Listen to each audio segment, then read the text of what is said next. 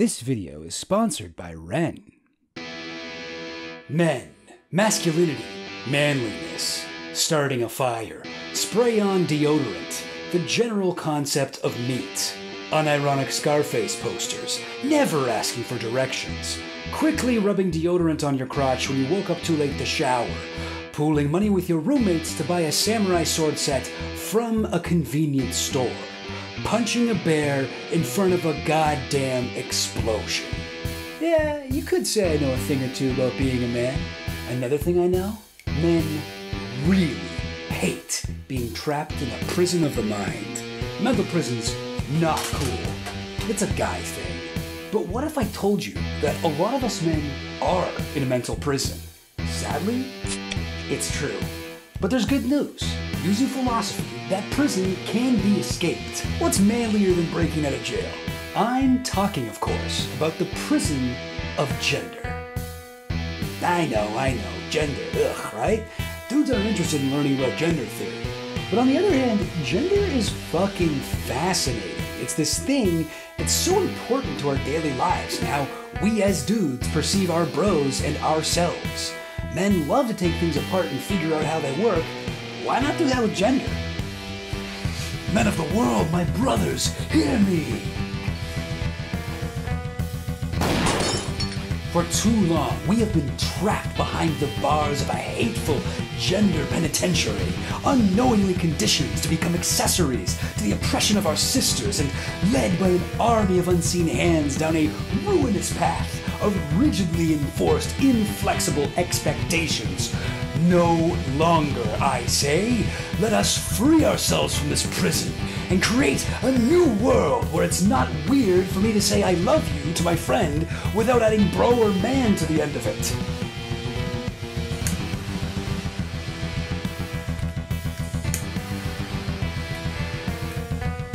But first, some sponsored content from Wren. Oh, hi there. If you're like me, you're probably filled with a white hot simmering rage about climate inaction. We've known about global warming for roughly 50 years now, and so far, our world leaders and the corporations they answer to have done somewhere on the high end of nothing about this.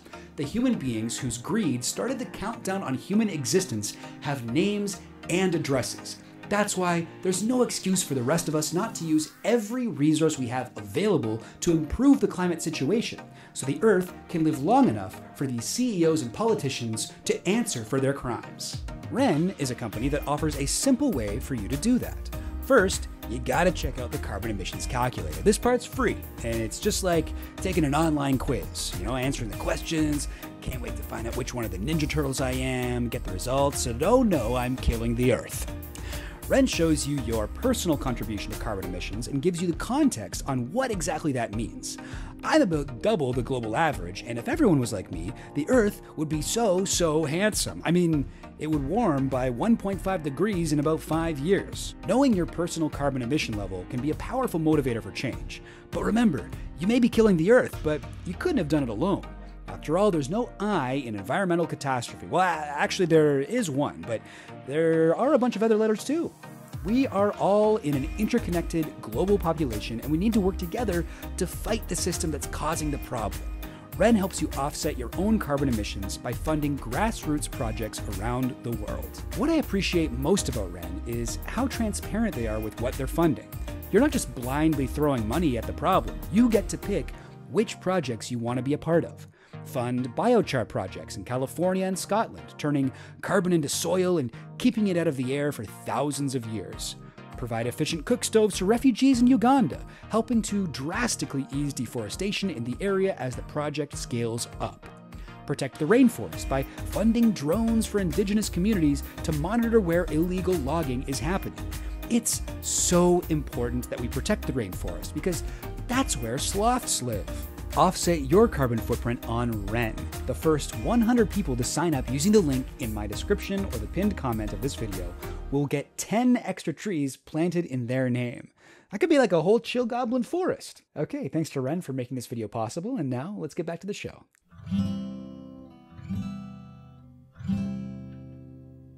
Maybe you're wondering, Who am I to teach anyone about gender theory? What are my qualifications? I'll be 100% real with you here. I have none. I didn't study gender theory in school. I studied film, and even that I barely passed. I'm just a guy who read a few books about gender, thought they were pretty fucking interesting, listened to some podcasts, had a bunch of conversations with my dude friends about it, and I really believe that gender has, in a way, been a prison to me. But demystifying it a bit has made me a more free and empathetic person. I'd like to put together some of the things I've read and a few of my thoughts on it here, and my hope is it can help other dudes escape some of the harmful conditioning of the gender prison as well. So, first, what is gender? Well, you might have been given a specific answer to this question in school, and likely much more often, you were taught about gender without realizing there was a lesson going on. Then, years later, it sometimes seems like people are saying everything you thought you knew about gender is wrong, and if you have any questions about that, you're transphobic. What gives? Hey, it's okay to feel confused and frustrated. Don't click on the Daily Wire link. Don't click it. Stay with me. Put the mouse down. It's okay to be confused. I was confused too. Up until just a few years ago, I had a simple and incorrect understanding about gender and sex, the same one I was taught from the time I was a child.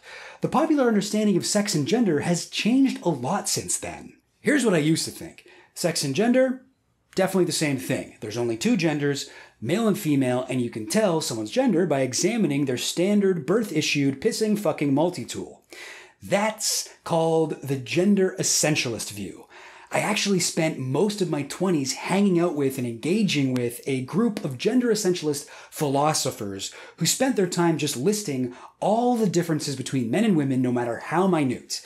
These philosophers are also called stand up comedians, and I thought they made some compelling points at the time. I believe one of them posited a compelling theory that women be shopping. For some people, there are advantages to a view like this. Gender is everywhere. It's in our language, it's in how we dress, it's in what jobs and roles we're expected or even allowed to do. For such an important topic, the essentialist explanation is quite easy to understand. Many people, myself included, find that the gender that was first predicted by whether their junk was an innie or an outie matches up quite usefully with how they'd like to live their life. But there are also disadvantages. A gender essentialist has no way to comprehend trans people, they cannot account for the existence of intersex people, and they may be confused or even feel threatened by the mere sight of someone behaving or dressing like a different gender. A dude with nail polish, is this a sign that the West is about to fall? It may be time to consider that gender is more complicated and deserves more exploration than just unquestioningly believing whatever was foretold through mystical signs upon the body as if by some $5 palm reader of the county fair, except instead of looking at the creases in your hand to tell you when you're going to get married, they check whether or not a baby's crotch dangles to tell if it's going to prefer Coors Light or strawberry daiquiris later in life. So let's start here with the first key to exiting the prison known as gender. There's multiple keys. I don't know. There's like uh, like a lot of doors to escape in this prison. I, I didn't fully think the metaphor through. Whatever, just go with me here. But key number one is to understand the social constructivist view of gender. So this may sound weird, but just for the sake of understanding the argument, follow me here. Sex and gender are different. So you got sex, which is basically whatever genitals you were biologically born with. And then you've got gender, which is all of the social, cultural, linguistic extensions of sex. In other words, this view holds that sex is biological, but gender is a social construct. I've noticed that the idea of separating sex from gender can sometimes be frightening for people. Gender's a social construct? No way. Some people are born male, that's just the way it is. That's real. And yeah, dicks and pussies are real very real. I've personally seen them before. In real life, I've held them in my hands. But gender is very real as well, even though it's a social construct that varies widely across different cultures and through different time periods. For example, in the place and time where I grew up, girls liked pink and boys liked blue. Girls had long hair, boys had short hair. Girls got to stay home on Holy Marsupial Night, boys had to make blood sacrifices to the Wombat King. But none of these ideas are universal. In many parts of the US, pink and blue were associated with the opposite gender up until the 1940s when it was standardized across the board by advertisers. Long hair is associated with masculinity in many cultures, like for some of the indigenous peoples of Turtle Island. And believe it or not, I've met a lot of dudes outside of the commune who openly admit they never once brought the ritual box of platypus femurs to appease the burrowing one. I guess they don't mind being turned into eucalyptus to be digested by the infinite koala until the end of time.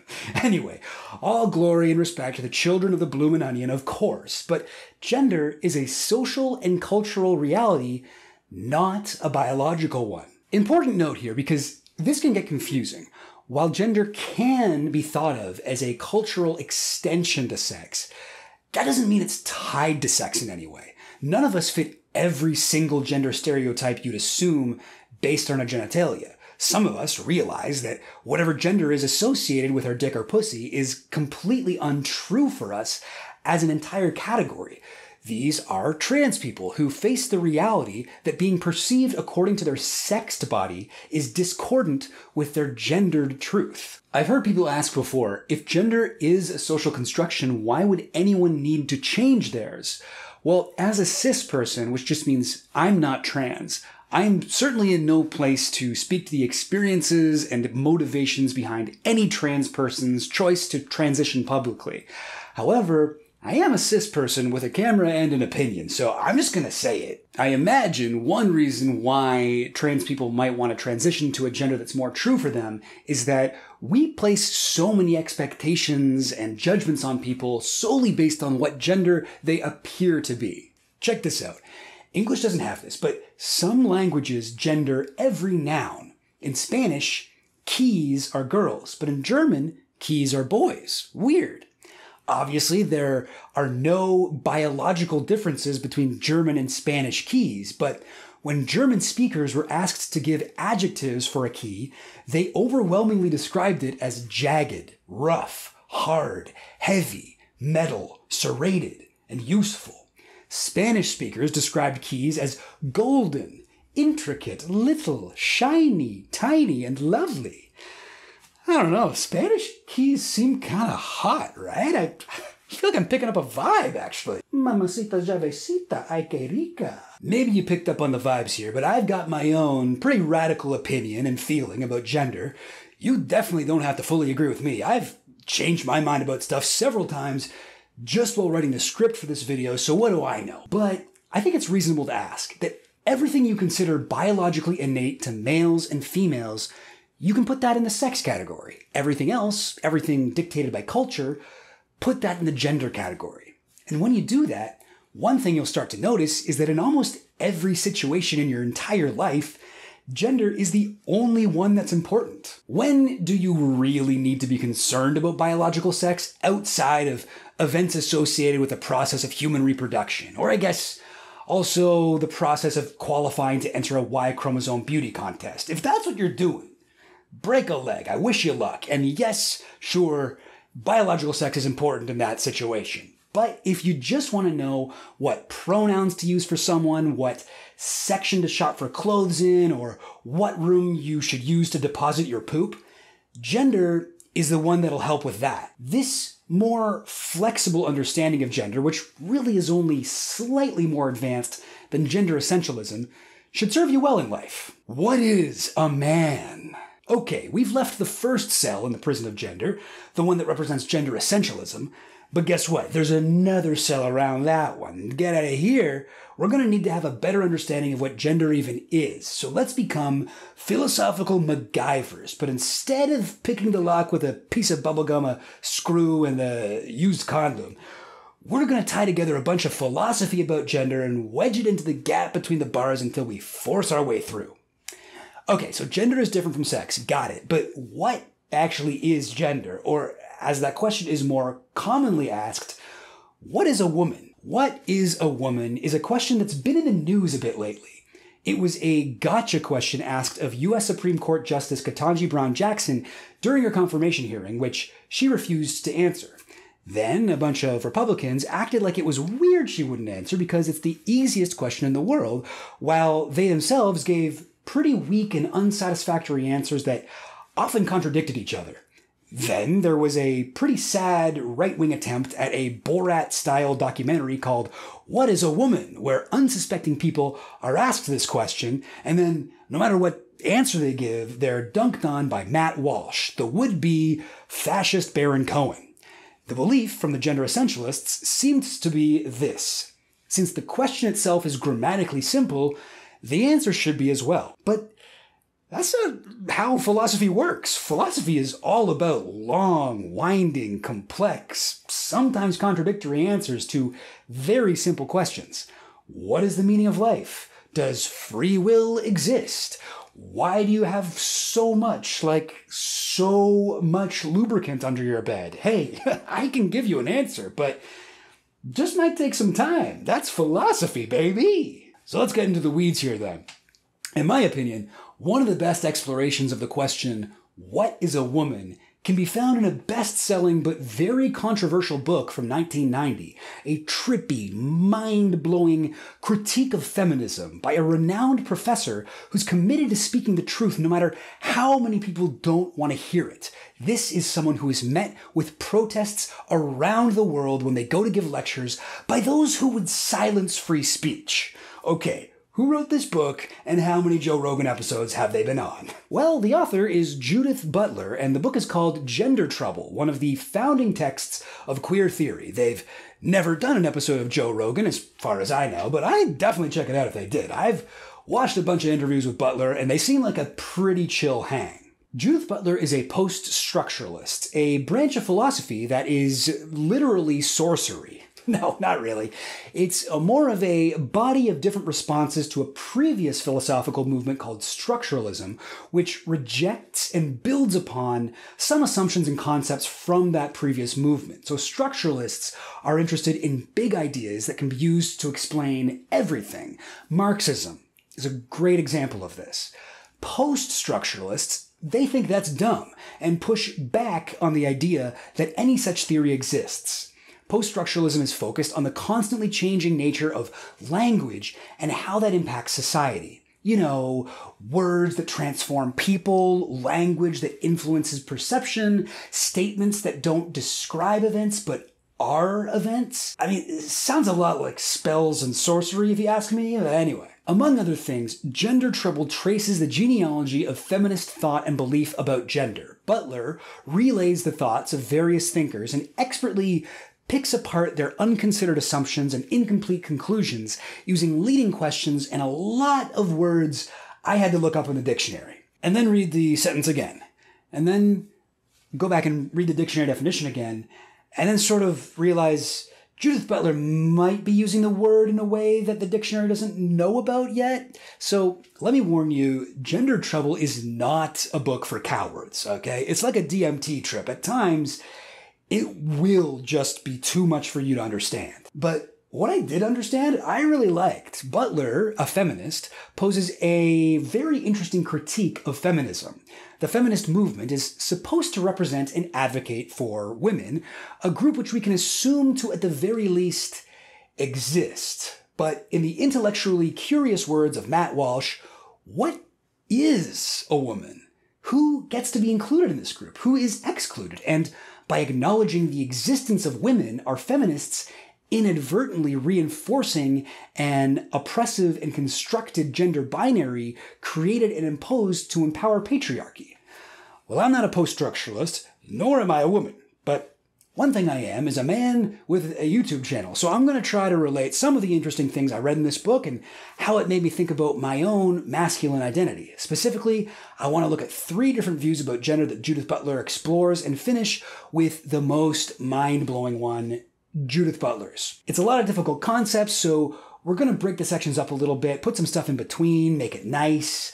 Uh, let's start with second wave feminist Simone de Beauvoir, whose book, The Second Sex, published in 1949, has been called the most important book in all feminist literature. You'd think a book published so long ago would be a little dated by now, but there are a lot of Beauvoir's ideas that are still radical even by today's standards. Simone de Beauvoir. Butler actually opens Gender Trouble with a line from Beauvoir.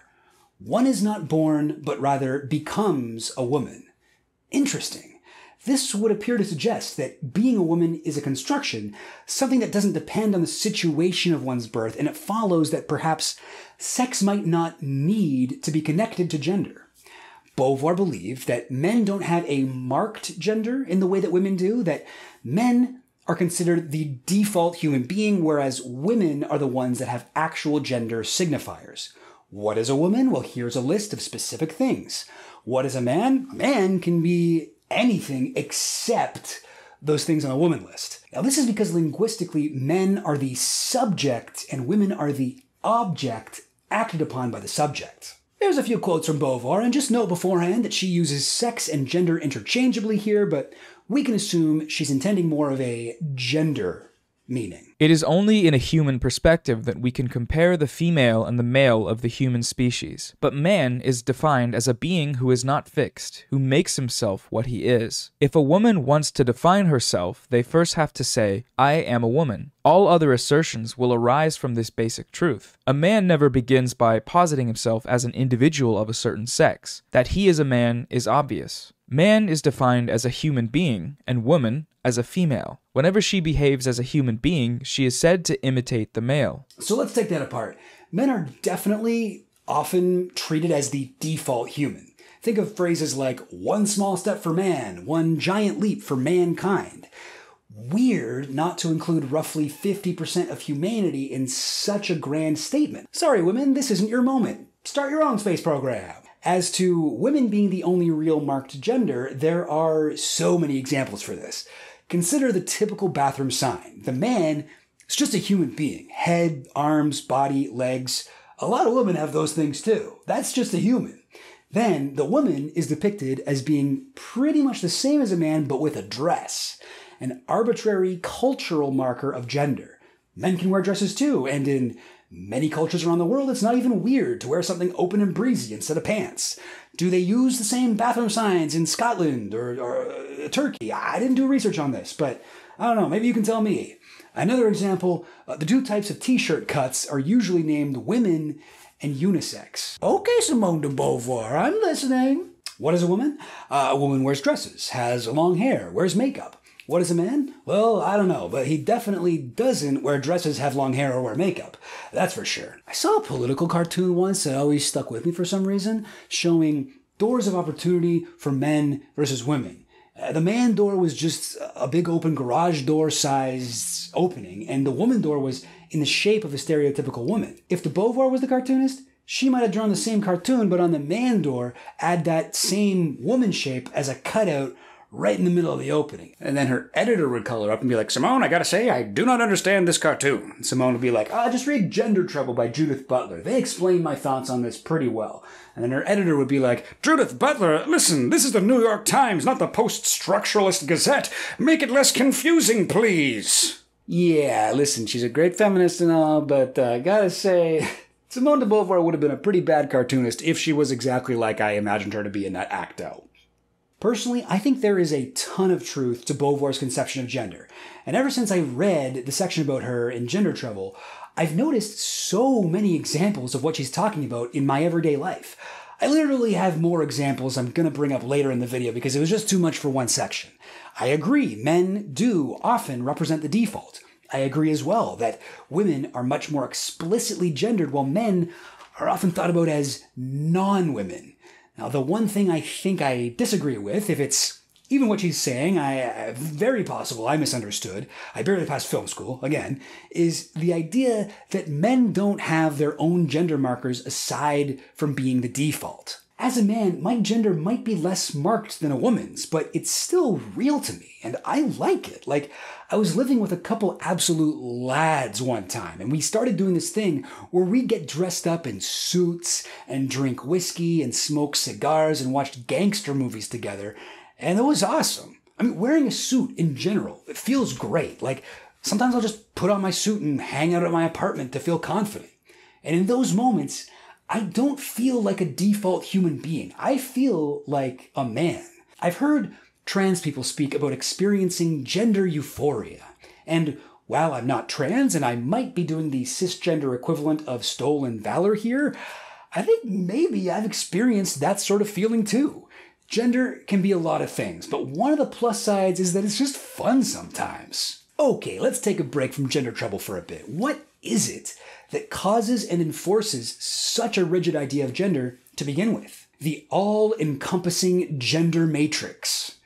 I first want to stress here that the consequences of living under the gender matrix are definitely worse for women than they are for men overall. I hope we can all agree on that.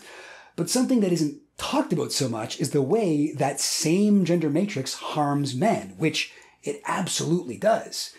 Men are usually presumed to benefit from being at the top of the hierarchy put in place by the gender matrix. But there are many ways that this political social system, ostensibly set up in our favor, harms us as well. As Beauvoir pointed out, the options for women to express their gender are in general much more narrow, much more specific, while men are encouraged to explore a much wider array of options in life. But at the same time, I think people who are assigned female at birth that choose to break society's gender stereotypes are generally less of an outrage or threat than those of us who are assigned male at birth and go on to display stereotypically feminine behaviors. Think of the relative colors of the boys' toy aisle versus the girls' toy aisle. The girls' toy aisle is all pink. The boys' toy aisle is every color except for pink. No pink to be found. If a girl wants to get a toy from the boys' aisle, that's generally okay with all but the most rigidly gender essentialist parents. But if a boy wants to get a pink toy from the girls' aisle, that would probably be a much bigger deal, right? Like, if that boy's willing to dismantle the beloved tradition of not liking stuff that's pink, who knows what he'll dismantle next? If I had to guess, probably Western civilization. We're a couple minutes into this section, so it's time for the big reveal that I'm calling it the all encompassing gender matrix, but it's much more commonly called the patriarchy. I called it the gender matrix there because A, it sounds cool, and B, because a lot of men have a knee jerk negative response to that word that I was trying to avoid.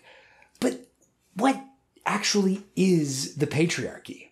Well, in her excellent book, The Will to Change Men, Masculinity, and Love, Bell Hooks gives a great definition. Patriarchy is a political social system that insists that males are inherently dominating, superior to everything and everyone deemed weak, especially females, and endowed with the right to dominate and rule over the weak, and to maintain that dominance through various forms of psychological terrorism and violence. Ha ha! Take that, Simone de Beauvoir. Men do have specific things that mark their gender. Women wear dresses, men use psychological terror and violence against the weak. That's what makes the world go round, baby. Since so much of what we consider masculine is just anything you want, aside from this list of feminine things, You'd think the patriarchy would have set its boys up with all the best shit and given the ladies just a bunch of junk that wouldn't benefit us at all. So, let's check the list.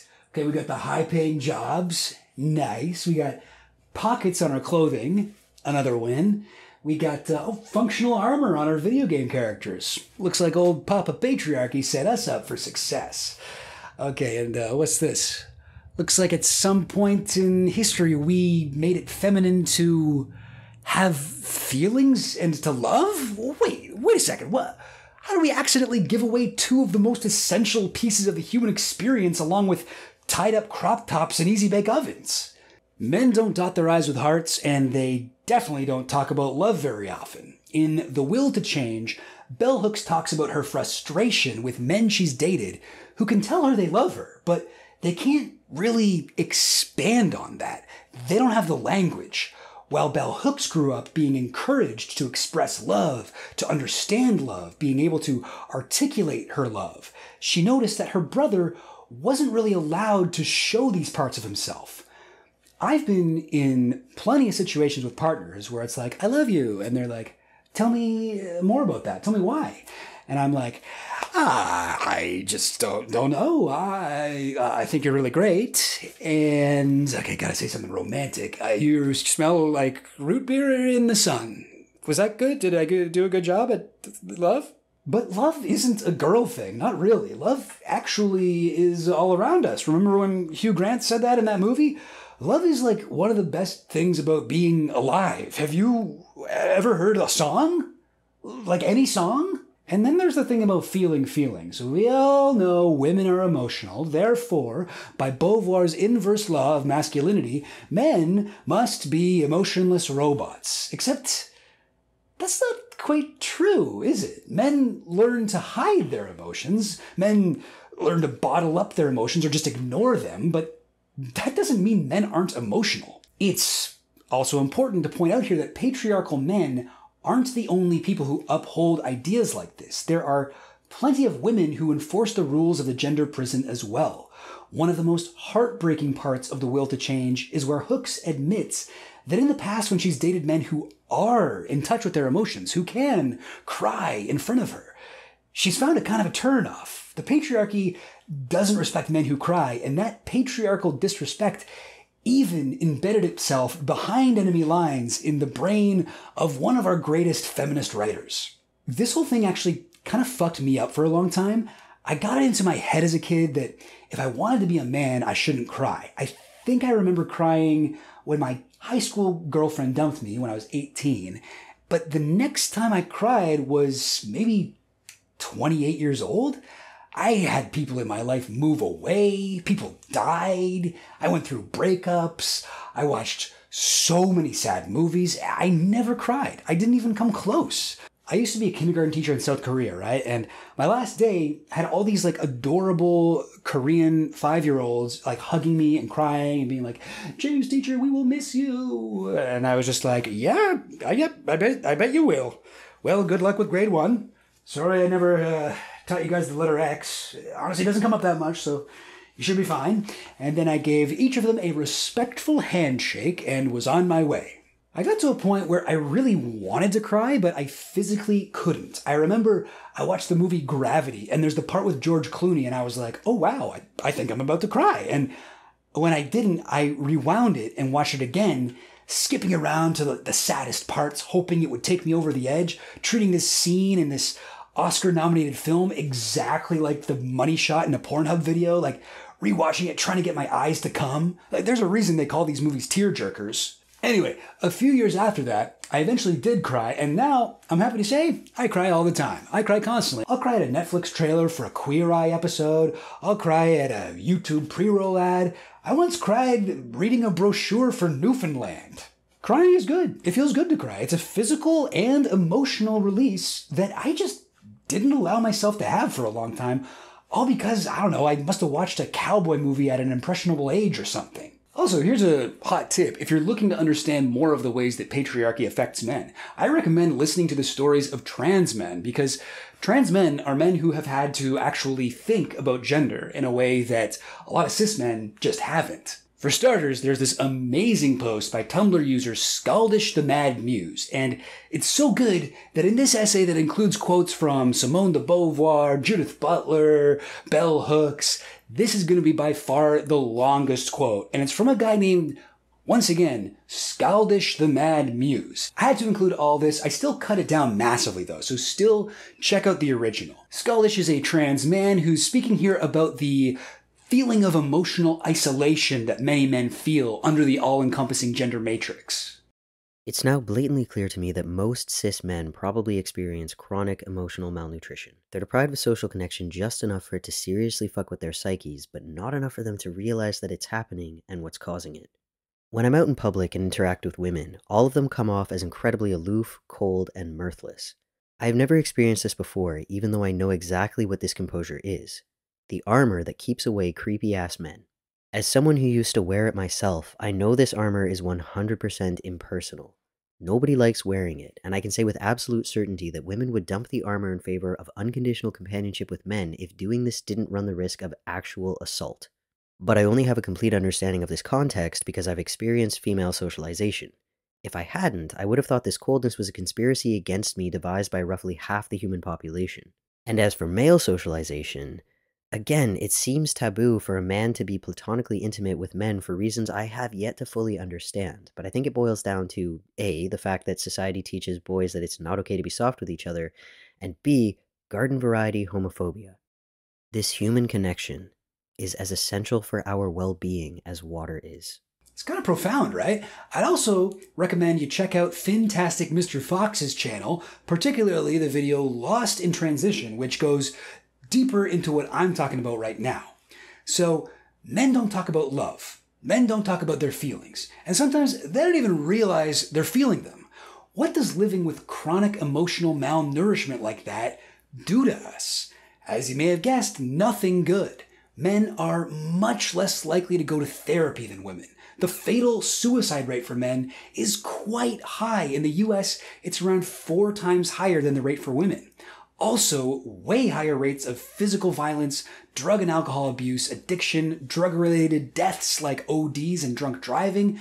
And also, men are extremely disproportionately affected by mental illness related to anger management. This shit sucks. This emotional malnourishment caused by the gender matrix is a huge problem affecting so many men. I feel like any solutions I might offer here will be almost useless, but my dudes, if you can afford therapy or you have access through work, you should absolutely go for it. Talk to your dude friends about serious life stuff. We need to be there for each other. And if you're considering suicide, you gotta reach out to a crisis hotline. Under the current gender matrix, let's just call it the patriarchy at this point, it's hard for men to understand the problems it causes them. Of course, men don't like to talk about the patriarchy. You know who that's good for? The patriarchy. To end male pain, to respond effectively to male crisis, we have to name the problem.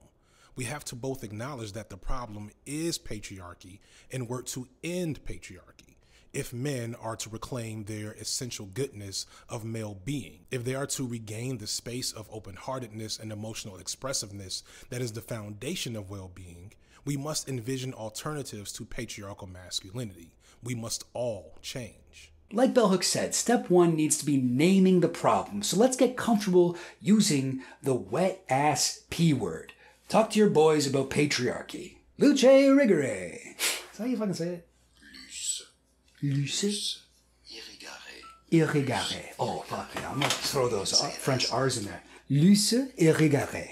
All right, we're back to gender trouble. So, another feminist theorist with a very different conception of women and gender is Luce Irigaray. Irigaray disagrees with Beauvoir on a few things. For one, Irigaray says that instead of men being the subject and women the object, men are the object and the subject. Women actually cannot be represented by language because language is phallogocentric. It all makes so much more sense when you put it like that, huh? Imagine if I just used the word phallogocentric and I didn't explain what it meant. I just moved on. So, uh, this strange word is a combination of phallus, meaning a symbolic penis, uh, logos, meaning language, and centric, meaning, I don't know, like centric, yeah. Uh, according to Irigaray, if our language is phallogocentric, it was created to represent men and it cannot possibly represent women. Uh, the system under which this took place is referred to as the masculine signifying economy, which is kind of like another word for patriarchy, but more specifically to do with language and the marketplace of ideas. According to Irigaray, within the masculine signifying economy, the feminine cannot be differentiated from the masculine. Within language, women are a linguistic absence. They cannot be accurately described. It's a complex topic to take in, so let's let Butler shed some light on things. For Irigaray, the feminine could never be the mark of a subject, as Beauvoir would suggest. Further, the feminine could not be theorized in terms of a determinate relation between the masculine and the feminine within any given discourse, for discourse is not a relevant notion here. Even in their variety, discourses constitute so many modalities of phallogocentric language. The female sex is thus also the subject that is not one. The relation between masculine and feminine cannot be represented in a signifying economy in which the masculine constitutes the closed circle of signifier and signified. Okay, run that by me again in English, please. I told you this book is not for cowards. Irigaray is making a really bold claim, so I'm gonna try to explain what she means, even though I'm not 100% sure I fully agree, and I am 100% sure I don't fully understand what Irigaray or Butler was talking about with all this.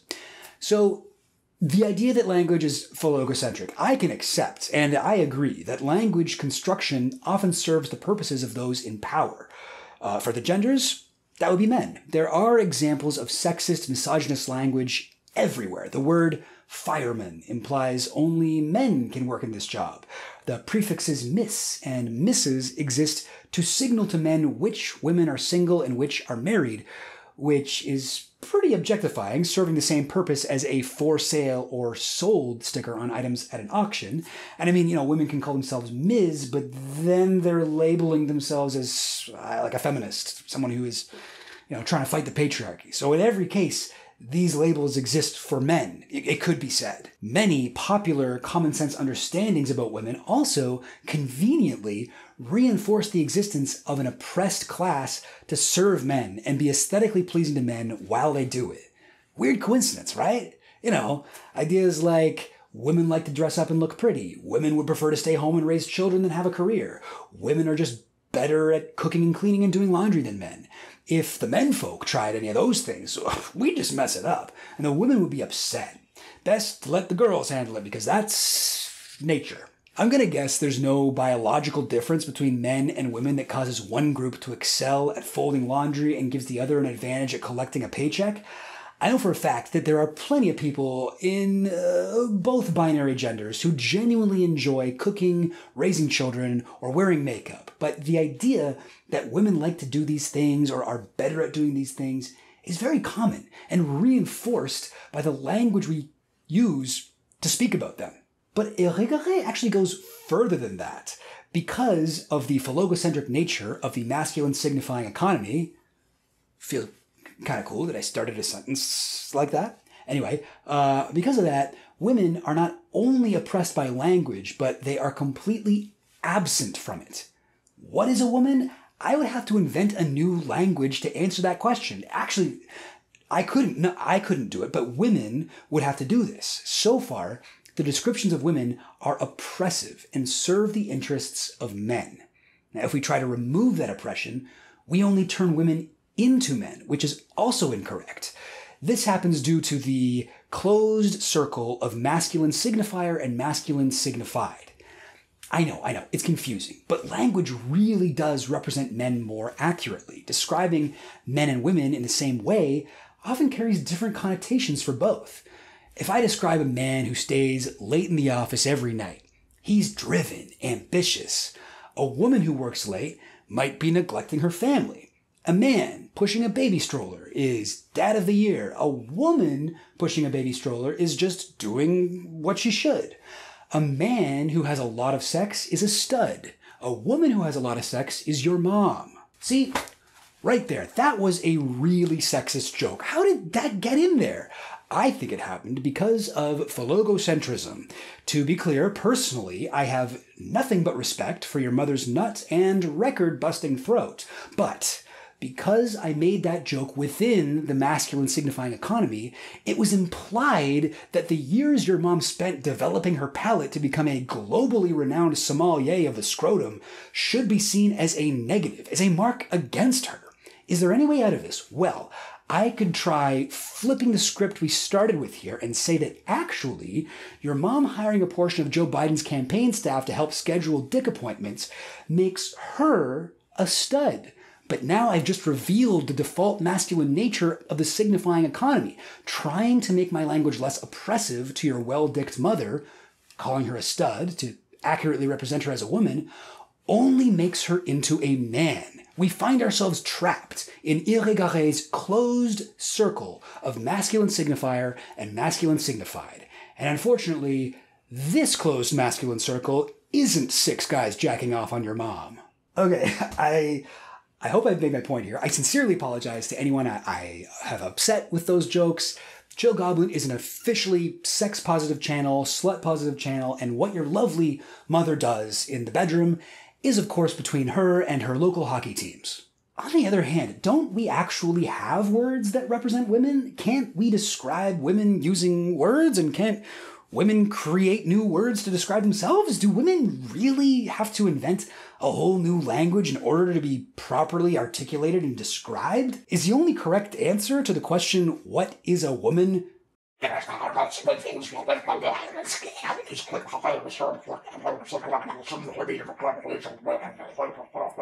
Well, it, it is an interesting claim to consider. Personally, I don't think so. But also, like I said, not quite sure I really understood what Hervé was getting at, so please feel free to enlighten me here. Toxic masculinity. Toxic masculinity, one of the most misunderstood terms on this earth. A lot of our brothers in the gender struggle have had their questions go unanswered, so let's right now go through a couple frequently unanswered questions, or fucks, and take them seriously. Uh, yeah, I gotta fuck. Is toxic masculinity saying that all masculinity is toxic? Oh, definitely not. No way. Many forms of masculinity are cool and nice. Like wearing a shirt that's got a fully covered print of an anime dragon. There's nothing toxic about that. That's just good, clean fun. Toxic masculinity specifically refers to learned and enforced masculine attitudes that affect everyone negatively. Things like a tendency toward violence and aggression, an inability to admit weakness or report injury, extreme self reliance, and hateful patriarchal attitudes like misogyny, homophobia, and transphobia. Uh, yeah, I got a follow up, fuck. So, isn't this just another term invented by man hating feminists to make all men look bad? Well, no, that's not. That's not what feminists do, but actually, get this. The term toxic masculinity was coined by the original men's rights activists, the mythopoetic men's movement. This was a group of men who saw themselves as aligned with feminists. The MMMs, or MMs, had a lot of cool ideas and did some cringe shit as well, like going on retreats in the woods where they dress up in stereotypically indigenous clothing and bang on drums and try to get in touch with a deep masculine, but Somewhere in that process, they also coined the term toxic masculinity, which is an extremely useful concept to understand to get us all out of the gender prison. So you, you got to give them that. Um, check out Little Hoot's excellent video on the topic if you want a full rundown on the movement. Yeah, I gotta, I gotta fuck. Um, now, a question: If I washed my ass, would that make me gay? Oh, great question. We actually get this question a lot. So uh, the answer is yes. 100%. There's no way around it. Uh, anyway, enough questions. Let's move on. Toxic masculinity can be found in some of the qualities of men most aggressively imposed by the patriarchy that are harmful to us men and to those around us. The idea that being a man requires total self reliance is a big one. This has consequences for men, like almost never going to the doctor, driving past exhaustion, or refusing to stop working or playing a sport after an injury, or just being unable to ask for help in any situation. I too find it really hard to ask for help, so in a brave and selfless gesture toward eliminating toxic masculinity, I will now demonstrate what it looks like to do so.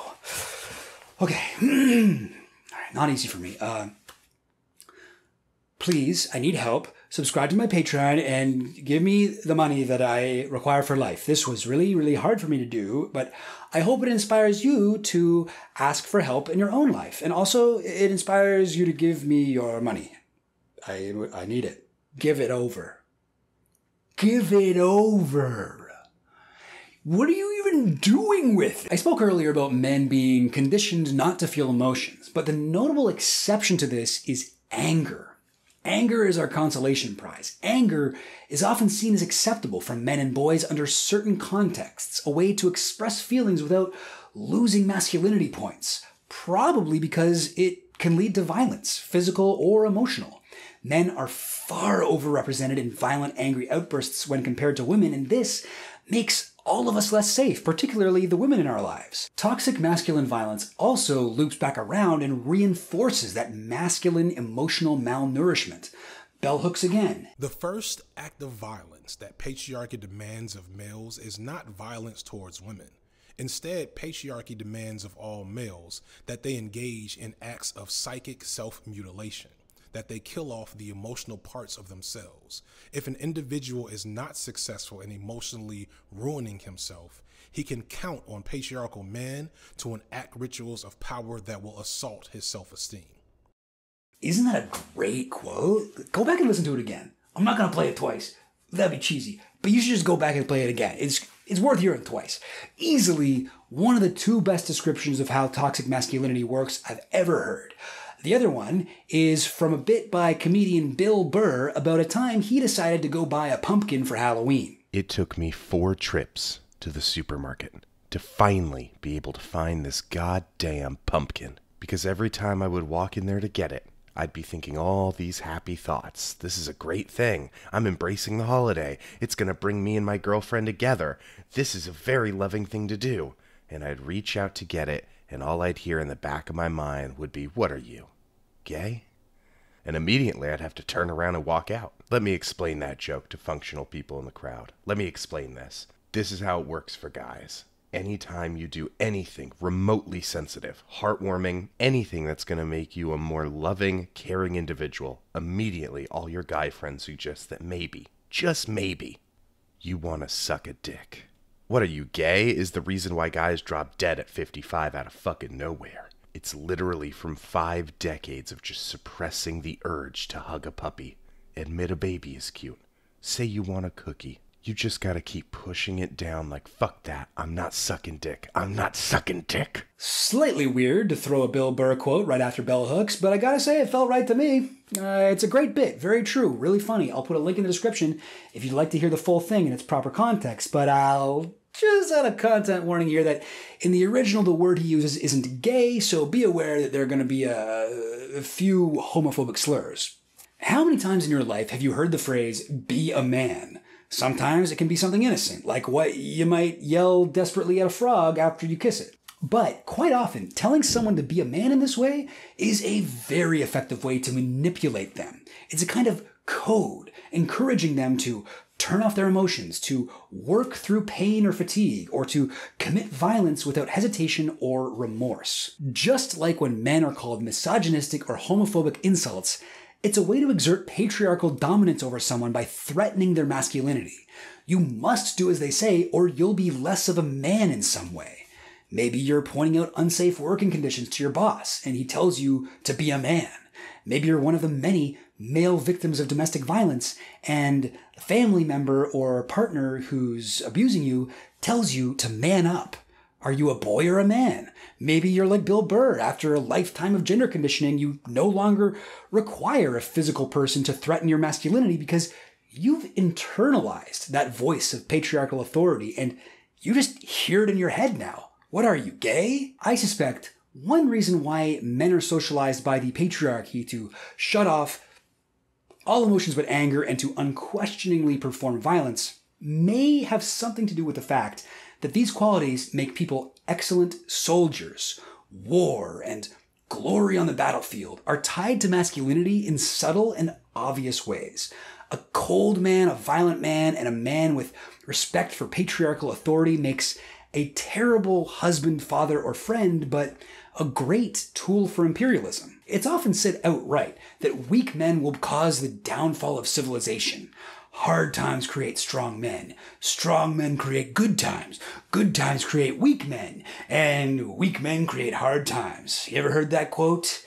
Julius Caesar. Just joking. It's actually from a science fiction novel by G. Michael Hopf, a former U.S. Marine and current owner of a 104 follower Twitter account. Look at him trying to get credit from uh, Tim Pool quoting him. Amazing. Two likes. Oh boy. Oh, wow. What a meatball. Anyway. This quote and the general idea are everywhere. I've heard Joe Rogan say it about 50 times. It feels true, even though it is not true historically. I, I'm not going to elaborate on that because others have made the point better than I could. I'll just say that the idea is used quite a bit to shit on men who are perceived as weak or who are not conforming to their gender properly. It literally translates to you're drinking a fruit flavored beer? Fool! Your impudence has doomed us all! Is there a way out of this part of the prison of gender? Sadly, there's nothing you can read or understand on your own to prevent other patriarchal men from enacting their rituals of power to assault your self esteem because they see you stepping outside of the acceptable boundaries of gender. You may find yourself in situations where it's not physically safe to play with gender in the way that you might like. Depending on your social status or your perceived masculinity, You might be in a position to protect others from this treatment. You might be safe calling out others for treating people in this way. But I would advise you to approach situations like this with caution. But have hope. I don't believe these toxically masculine qualities are innate to men. If they were, why would the patriarchy have to work so hard to instill these values on us? Why would Joe Rogan be so terrified about the rise of so called weak men?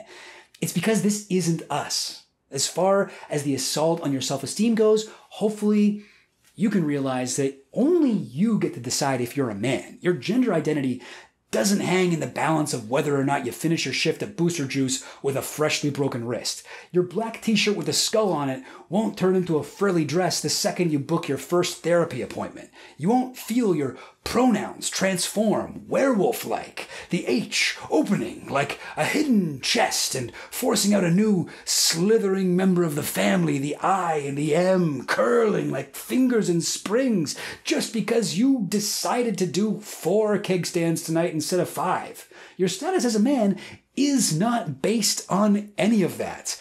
Buy the pumpkin, say the baby's cute, ask for a cookie, take care of yourself. Gender performativity. So, what does Judith Butler think of gender?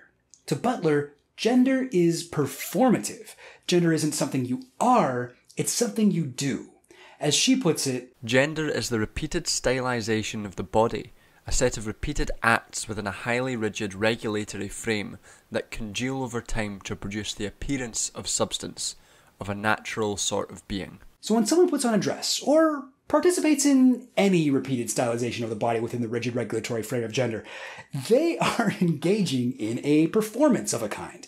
They're presenting to the world an image because of the context of the performance and the audience for it, they can expect to be seen in a certain way. I mentioned earlier about how I sometimes feel a sense of what I assume is gender euphoria.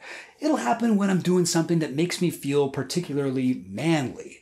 When I take a second to picture what I look like or check myself out in the mirror or a photo, I, didn't always have the words to express it, but I kind of think to myself something like, God damn, I am nailing this gender performance right now.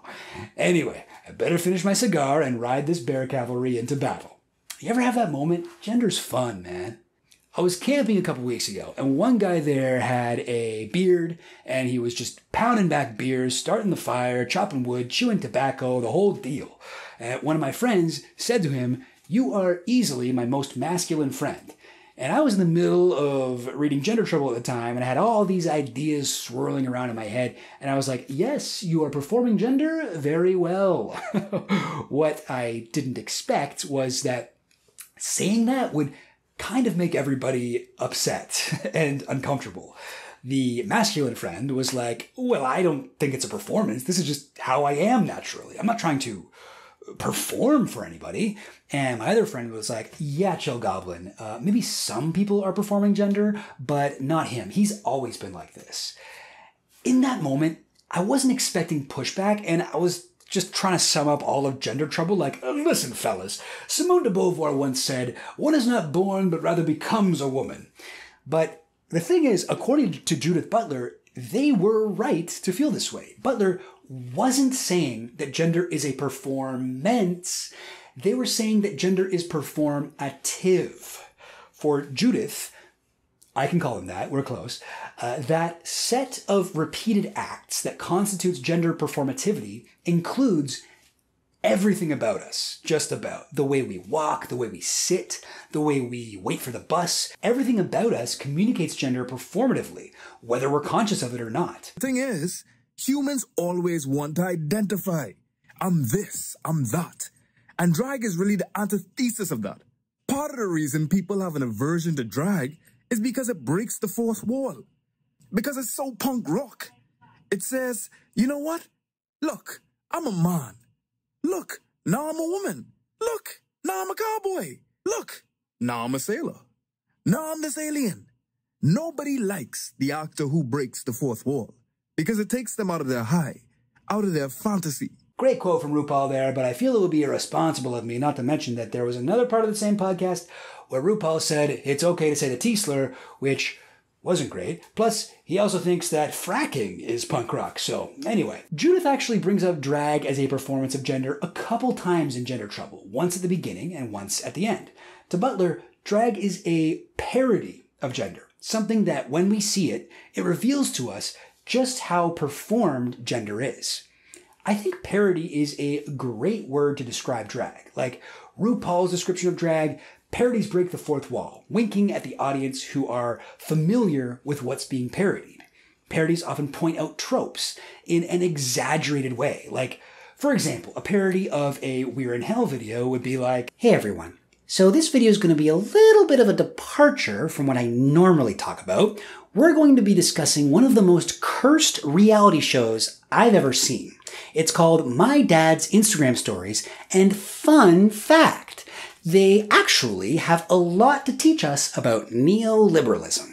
Fredric Jameson once said, Hey, ever notice how he always does that? Starts his videos by saying, Hey everyone. Maybe you never noticed that before, but now you do through the magic of parody. In a similar way, when we see a man performing drag who wears feminine clothes, walks with a feminine hip swish, speaks with a feminine inflection, we realize that these gender signifiers aren't tied to biological sex, and we're left to ask ourselves just what gender is anyway.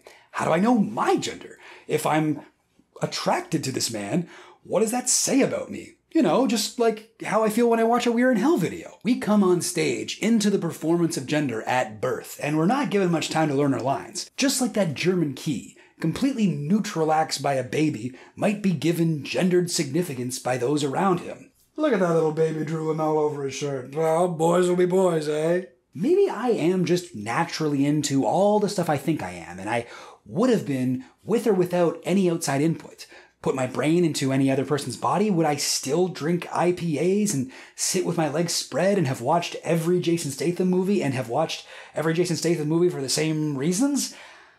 I'm not so sure about that. This is the last part of that Judith Butler quote that these repeated acts of gender performed by people all around us and in the media we consume, these performances congeal over time to produce the appearance of a natural sort of being. The more people buy into the performative version of gender, the more natural it seems, the more connected gender appears to biological sex. I'll mention here briefly that not everyone agrees with Judith Butler about gender as performative, notably, and I'm not really the best person to articulate this criticism, but some trans people criticize Judith Butler's theory as being dismissive of the idea that people are born trans, that their gender is intrinsic to who they are. Now, that's a completely valid objection to the text, which unfortunately doesn't really talk about trans people at all. It's a huge missing piece from what's otherwise a wide ranging and deep discussion of gender. To their credit, Butler has acknowledged this criticism and seems really grateful for the trans people who pointed this out, saying that since writing this text in the 80s, they've learned a lot from trans people, you know, because they're actually interested in knowledge and truth, and so they see criticisms as chances to learn instead of claiming that anyone who doesn't agree with them is trying to uh, silence them. Personally, I still find the theory very convincing. Butler has clarified later on that just because gender is performative, that doesn't mean that we can just choose our own gender. Gender is deeply ingrained in us. It is a part of who we are. It's a part of our identity. When you learn about the performative nature of gender, you aren't given the power to change your gender at will. It's still a part of you.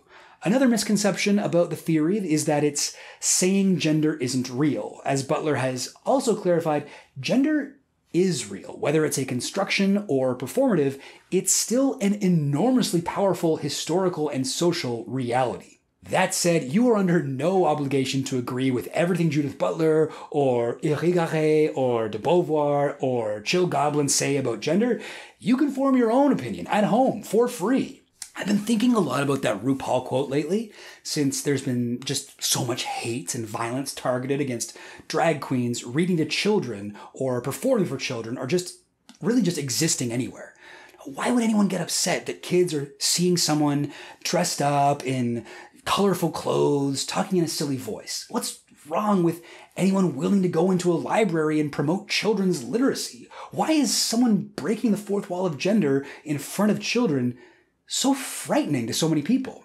To piggyback off of RuPaul's point, I suspect the unconscious worry is that showing children anything that reveals through parody the constructed performative nature of gender will allow children to see through the walls of the gender prison before they've been locked inside. Boys don't wear dresses. Really? That's interesting because I saw a boy at the library who was wearing a dress and he looked great. I don't know why I don't want to just wear these matching jean jackets. The reality is, we all do a little drag from time to time. A guy who doesn't eat meat, or a guy who has a therapist, or a guy who does yoga. They're all breaking the fourth wall of gender in some way, and by that token, everyone on earth is in drag at some point. There's nobody who actually fits every stereotype of a man, and if there is, and if you're watching this, you should really cut back on the cigarettes. But if you're a guy watching this video, I'm positive You've experienced a moment in your life when someone called you out for not performing your gender properly. What is with that? Well, I think that some people spend so much time trapped in that prison of gender that they become prison guards. When they see someone unlocking the door for themselves or even just looking around and acknowledging that there is a prison, they have to step in and lay down the law. And this is the law of the patriarchy. The manosphere. If you're a young man frustrated at life, confused by what you're hearing about your gender, or if you're just looking for romantic advice or ways to meet people to have sex with, you'll probably go on the internet and search things up. There's a huge number of young men asking these sorts of questions online. Young men who might sense that they are in a prison of some kind, but not know the way out.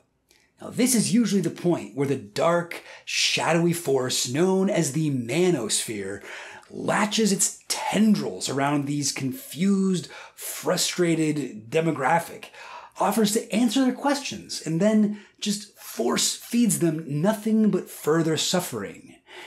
Come this way, It says to the young men, like the clown from It, if it were also a pickup artist. Follow me to escape this place and live your dreams. It promises, gesturing in a direction that only draws its victims deeper into the gender prison.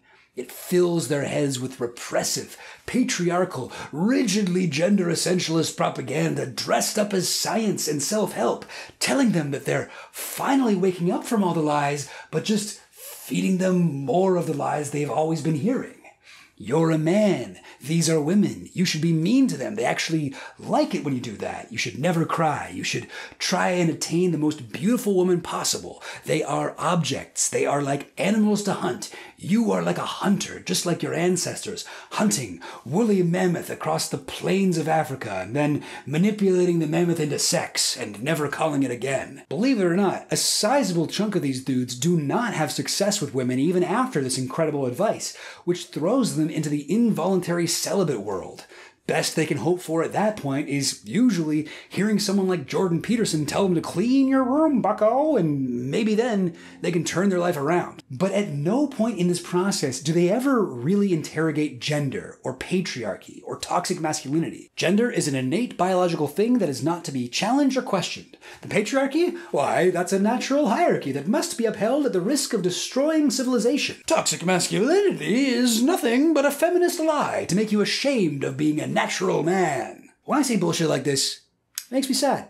It makes me sad. I'm so glad I came of age on the internet before things like Gamergate or the rise of the intellectual dark web.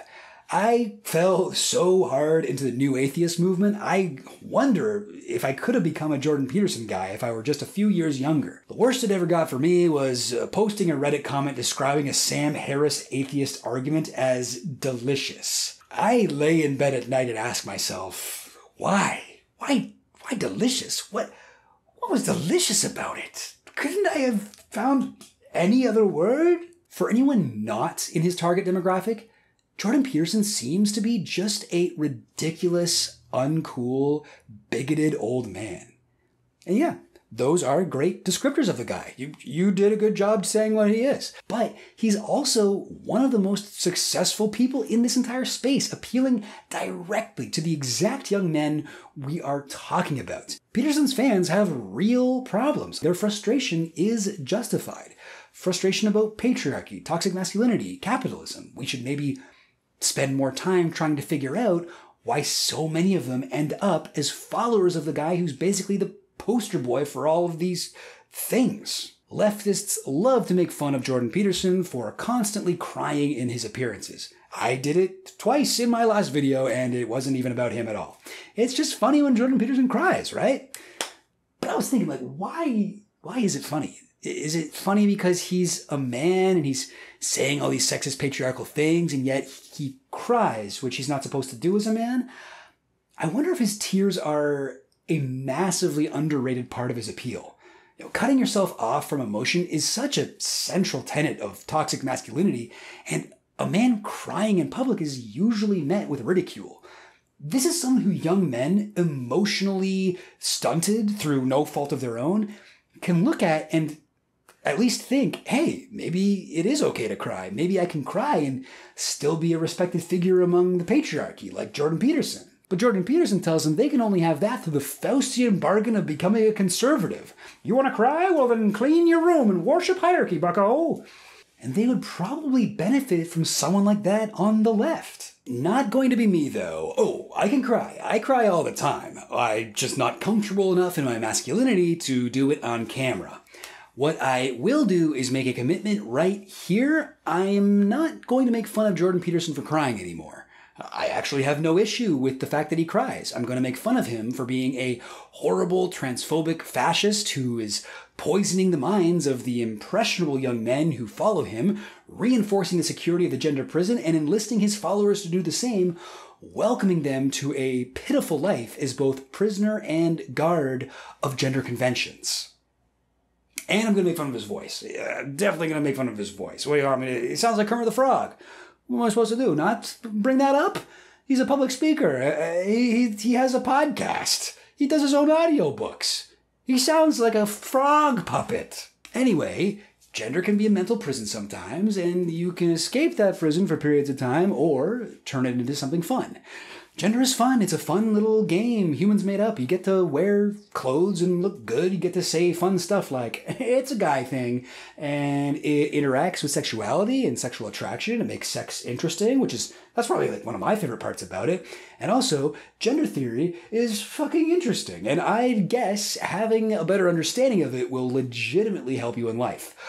Also, I didn't get into nearly everything that's cool and interesting about gender in this video. I barely mentioned non binary people at all who are valid, and non binary masked people are affected by a lot of the issues that I raised here.